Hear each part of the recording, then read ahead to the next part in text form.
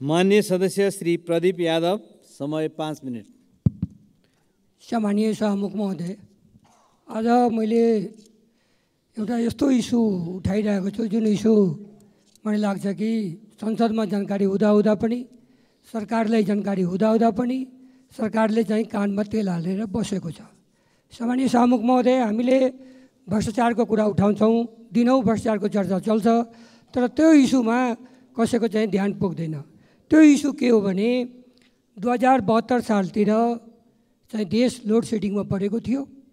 हामी सबै गर्मीमा पनि पङ्खा चलाउन पनि धेरै असहज अवस्था थियो किनकि बिजुली थिएन। त्यो बेला लोड सेडिङ भएको थियो र बिस बिस घन्टा देशमा लोड सेडिङ हुन्थ्यो।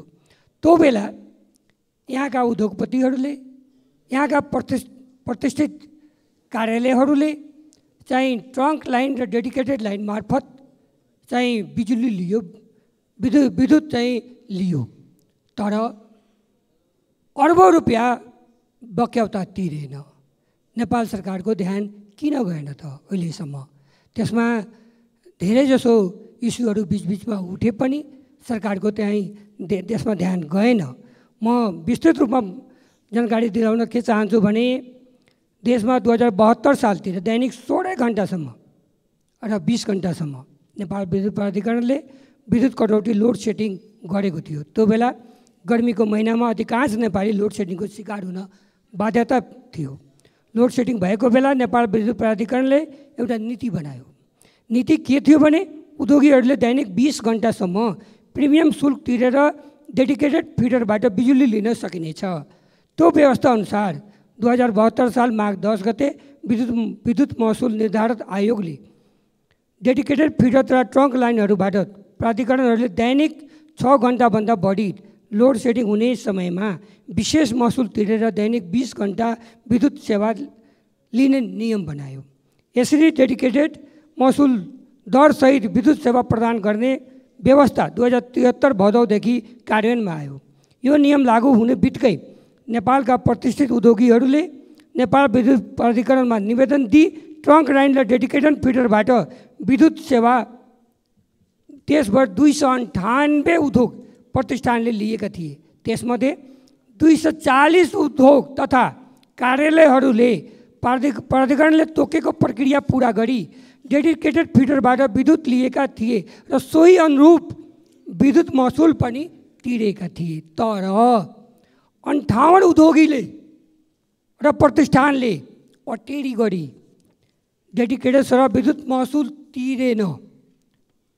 बिजुली पनि लियो तर महसुल तिरेन। प्राधिकरणले यी उद्योगीहरूलाई र प्रतिष्ठानलाई बिल पनि पठायो तर उद्योगीले अटेरी गर्यो। र के गर्यो भने अदालत गयो। अदालतले पनि गजबको निर्णय गर्यो राम्रो निर्णय गर्यो। विद्युत प्राधिकरणको पक्षमा निर्णय गर्यो के भन्यो भने जब बिजुली लिएको छ लाइन लिएको छ र पैसा कमाएछ भने पैसा तिर भने कोर्टले पनि सुनेन उद्योगी उद्योगीहरूको। तर विद्युत प्राधिकरणका एमडी कुलमान घिसिङले त्यसमा ध्यान पुर्याएन। कसको आशीर्वाद थियो कसको तागतले के लाभले के कमजोरीले कसको डरले चाहिँ कुलमान घिसिङजीको त्यहाँ दिमाग पुगेन। या पैसा असुलीमा अटेरी गर्यो।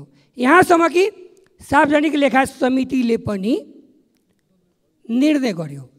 त्यो निर्णय के गर्यो भने पैँतिस दिनभित्र विद्युत प्राधिकरणका बक्याउता रकम डेडिकेटेड लाइन र ट्रङ्क लाइनबाट विद्युत लिएका उद्योगीहरूबाट असुल गर।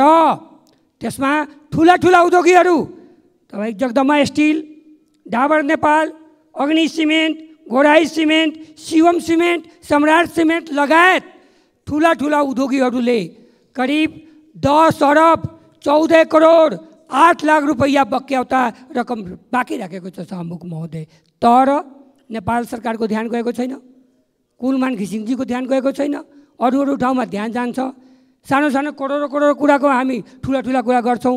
तर त्यहाँ अर्बौँ रुपियाँ उद्योगीहरूले चाहिँ बक्याउता राखेको छ त त्यहाँ सरकारको त्यहाँ किन ध्यान पुग्दैन?